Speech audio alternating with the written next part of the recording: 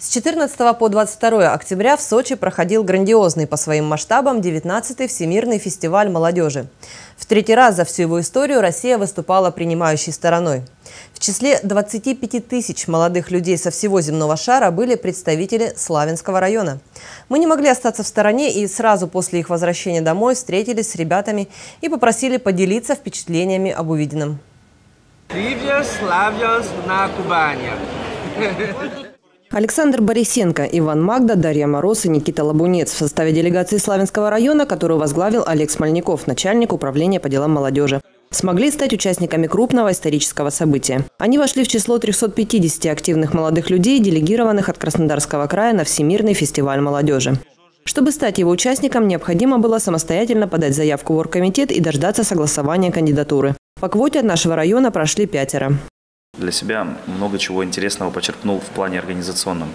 Э, какие-то моменты логистики, моменты организационно-творческого характера, э, оформления экспозиции, потому что у нас э, в силу нашей работы часто происходят различные экспозиции, презентации нашего района, региона в целом.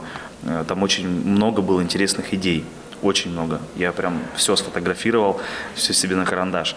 Несмотря на то, что участники фестиваля говорили практически на всех языках мира, как утверждает славянская молодежь, проблем с общением сильных не возникало.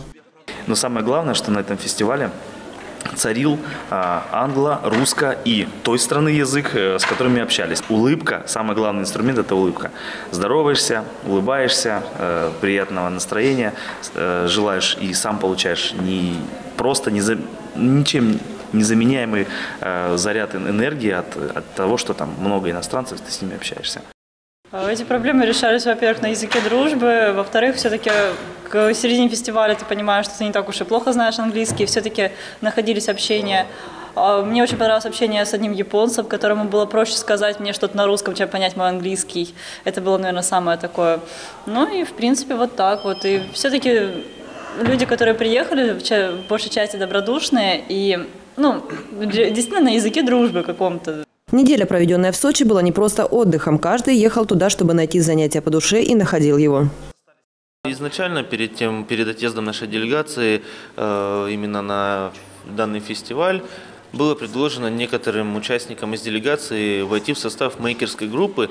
Э, работа мейкеров заключалась в том, чтобы поднимать настроение всем участникам фестиваля и организовывать какие-то мероприятия спонтанные. Флешмобы, которые мы организовывали, у нас был манекен челлендж был по сигналу одного из человека, одного человека мы все замирали, и люди, проходя, смотрели на нас и тоже присоединялись к нашему такому вот большому флешмобу.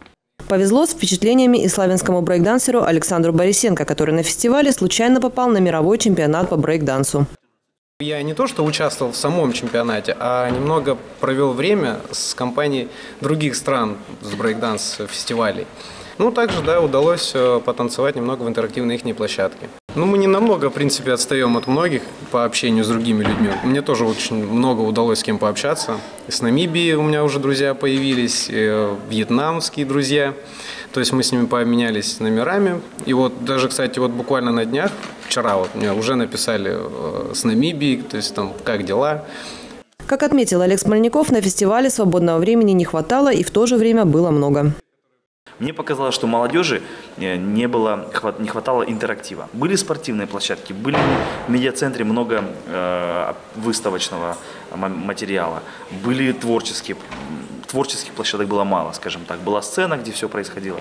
А вот туда, где можно было прийти, ну, ГТО был, пробег был. И все. 25 тысяч молодежи не помещались во все то, что там придумали. Я старался посещать намного, ну, как бы можно больше лекций, но все равно, если честно, было очень трудно попасть на них, так как очереди были иногда даже с 5 утра.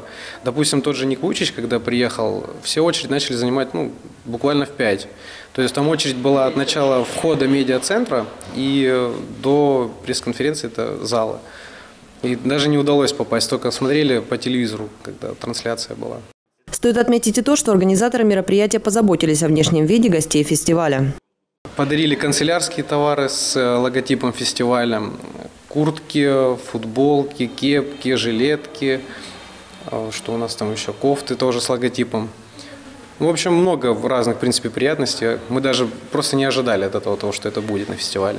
Дополнительный антураж фестивальным костюмам добавили значки, которыми обменивались участники. Собирать их стала отдельной темой фестиваля. Ну, многие, в принципе, подходили, просили именно этот значок, не знаю почему даже, если честно. А вообще я вы, э, выменял его с Намибии, с человеком. Это минимально, что можно было насобирать на этом фестивале, наверное, потому что у некоторых даже полностью куртки были осыпаны этими значками. А самым любимым местом для нашей делегации стала столовая, но совсем не потому, что там кормили. И самое любимое место, да, Никит, это была столовая. Конечно. Без Потому, что, было потому что в столовой, мало того, что мы стояли в очереди какое-то время, там знакомились с ребятами, потом мы специально засиживались минут по 40 в столовой после, после обеда, ужина, чтобы ну, там приходят, одни пришли, сели, мы с ними заговорили, поменялись значками, подарили им какую-то символику, другие пришли. Это просто вот, ну, классное место, как бы это смешно не выглядело. Умудрялись петь еще в очереди свои как бы, национальные песни, все, между прочим. Начиная, допустим, кто-нибудь начал петь, да, свою национальную песню, и другие начинают подхватывать. То есть даже буквально вот мы, да, стояли. Вокальный начали- батл, да. Да, вокальный батл. Индусы такой. свое, африканцы свое, там сербы или какие-то другие э, делегации. Даже не понимаешь, на каком языке они поют. Они выглядят все по-разному, но что-то они там Ну, понятно, что это понимают. национальная именно их песня какая-то. Но. Катюша и Калинка-Малинка, естественно, да, была которые пели Катюшу на своем. главными песнями. На вопрос о том, что станет вспоминаться спустя годы о пребывании на Всемирном фестивале молодежи, ребята перечислили и встречи с медийными личностями, и общение с иностранцами, Грандиозные церемонии открытия и закрытия фестиваля, но, пожалуй, самым ярким стал неожиданный выход к участникам фестиваля президента Российской Федерации Владимира Путина. Э, Никто из участников не знал, когда будет поздравлять всех Владимир Владимирович. Э, Было общее мероприятие, на которое собрали всех, э, собственно, пригласили всех участников. Э, Большая сцена, концертная программа, подведение итогов, какие-то эмоции положительные, ну, в основном положительные эмоции. И тут просто так, ну, мы где-то поодаль были этой площади, так там звука достаточно было, чтобы быть далеко от сцены.